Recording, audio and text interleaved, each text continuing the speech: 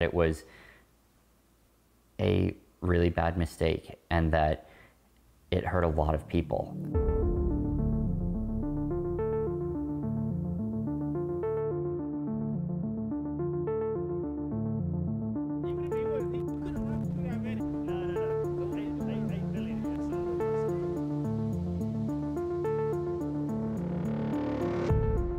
I didn't knowingly commit fraud. I don't think I committed fraud. I didn't want any of this to happen. Um, I was certainly not nearly as competent as I thought I was.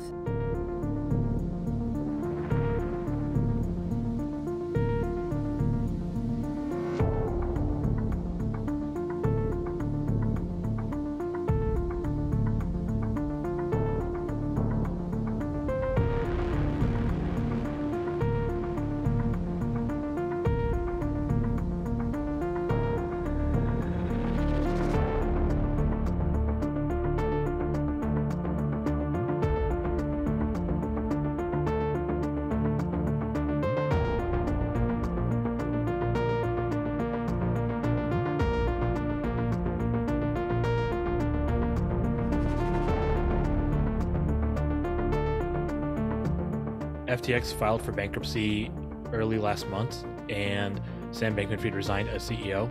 The new CEO who took over, John Ray III, came in and said that uh, FTX basically had no corporate governance, had no real documentation as to what exactly it had in terms of assets. They estimate they might have over a million customers who are owed money now.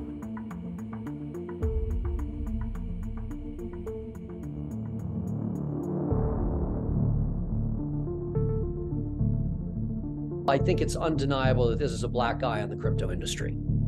This was seen as an incredibly established blue chip company to the extent, extent they exist in crypto.